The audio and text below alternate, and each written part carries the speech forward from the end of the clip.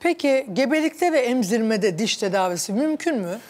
Elbette ki mümkün. Gebelik e, bayanların e, olmazsa olmazı oluyor bazı durumlarda ve e, elbette e, gebelikte bazı fizyolojik ve psikolojik olarak değişiklikler oluyor. Bu nasıl bir etki ediyor ağız diş sağlığına?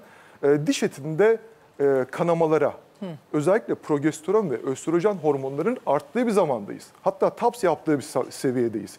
Bu tür durumlarda bu hormonun, cinsel hormonların artışına bağlı gebelikte ağız diş sağlığıyla ilgili sorunlar çıkıyor. Nedir?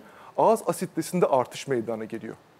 Bu ağız asitesindeki artış aslında erken doğum veya düşük tehlikesiyle de ortaya çıkıyor. Buna yansıması oluyor.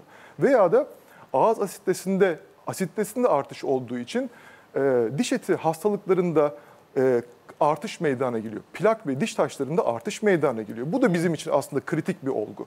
Üçüncüsü yine asitesinin artışına do- bağlı olarak diş çürüklerinde artış ve diş çürüklerinde derinlik artışına sebep oluyor. Bir de bir konu daha var. E, gebelik sırasında e, çocuk anneden sömürüyor kalsiyumunu. %5 oranında kemiğini oradan tahsis ediyor. Dolayısıyla kalsiyumca ve vitamin D'ce besinleri yüksek gıdalar, besinleri yemeleri onlar için özellikle tavsiye ediyorum. Hamilelikte aynı zamanda e, bu e, artışa bağlı, hormonların artışına bağlı diş eti hastalıklarındaki, diş çürüklerinin veya da cerrahi operasyonların yapılma zamanları var. Aslında ideal e, tedavi zamanı olarak 17 ila 28. hafta arasını güvenli kabul ederiz diş tedavisi için. Bu da 3 ilk 3. aydan sonra ve son 1,5 ay arası yani arası zamanı biz tam olarak böyle diş tedavilerini güvenli olduğu zaman olarak nitelendiriyoruz. İlk 3 ay özellikle organ gelişimi açısından, organ gelişiminin tamamlanması açısından güzel bir zamanlama ve orgunlaştığı zamanlar. O nedenle biz e, özellikle e, diş çene anlamında söylüyorum, ağız diş sağlığı anlamında söylüyorum. Ben ilk, açıkçası ilk önce planlı gebelikte özellikle hastalarımıza özellikle şunu belirtmek istiyorum. Planlı gebelik varsa eğer gebelikten önce diş sorunlarınızın diş hekimliği tedavilerini yaptırın. Sağlıklı girelim. Sağlıklı bir anne ancak sağlıklı bir ebeveyn ve çocuk bebek yetiştirebilir. Tabii. O nedenle de hani düşünün ki uçakta gidiyorsunuz. Uçak yolculuğunda ne diyorlar e, uyarılar sırasında? E, irtifa ani irtifa kaybında ilk önce, Önce kendi oksijen kendiniz. maskenizi takın. Sonra da bebeğinizin veya çocuğunuzun oksijen. Çünkü anne iyi olursa bebek de iyi oluyor otomatik olarak. O nedenle diş taşı temizliğini örneğin örnek verecek olursak veya kanamalı işlemleri elbette gebelik sonrasına bırakabilir hormonal anlamda yüksek olduğu için. Veya da e, radyograf alınması gerekebiliyor bazen. Biz güvenli olarak değerlendirebiliyoruz. Özellikle tiroid bölgesi kurşun boyunluk ve tüm vücut bölgesinde kurşun boyunluk grafi anlamında güvenli hale getiriyor hastayı. Bu anlamda e, radyograf anlamında rahat olabilirler. Antibiyotik ve ağrı kesici, özellikle ağrı kesici kodein tarzında ağrı kesicileri güvenli kullanabiliyorlar. Veya da antibiyotik. Yine belirli antibiyotikleri yine kullanabiliyorlar.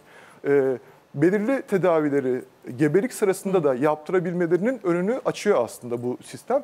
Şöyle ki özellikle erken doğum riskine ve düşük riskine bağlı olarak e, bazen de kadın doğumla konsültasyon yapmamız gerekiyor. O yüzden hani sağlıklı bir anne, sağlıklı bir çocuk, bebek diyebiliyoruz. Emzirmeyi de sordunuz. O da çok önemli. Hormonal değişikliklerin yine tap yaptığı bir zamanlar. Ee, şöyle ki emzirme sırasında e, ağızdaki yine asitte artıyor. Anneler bir hata yapıyor. Ne yapıyor? Ee, kaşığın içerisinde e, gıdayı bir sıcak testine tutuyor. Ondan sonra çocuğa bebeğe veriyor. Ama bakın ağız içerisinde asitte artmıştı. Diş eti hastalıkları, bakteriler artmıştı. Aslında bakteriyi biz anneden çocuğa bebeğe ekiyoruz. Buna gerek var mı? Yok. Bir de şunu söyleyeyim. Özellikle e, şişeyle emziren, daha doğrusu şişeyle e, beslenmesini sağlayan anneler şuna dikkat etsin. Ağzında şişeyle, biberonla gezdirmesinler çocuğu. Ağzındaki asitteyi artırıyor. Küçük çürük oluşumunu artırıyorlar. O nedenle ben özellikle e, biberon şişesinden emilen ağız dolaşırken çocuk ağzında biberon var. Hayır olamaz. Bu çürük artışına ve hatta bakteri artışında sebep oluyor diyebiliriz.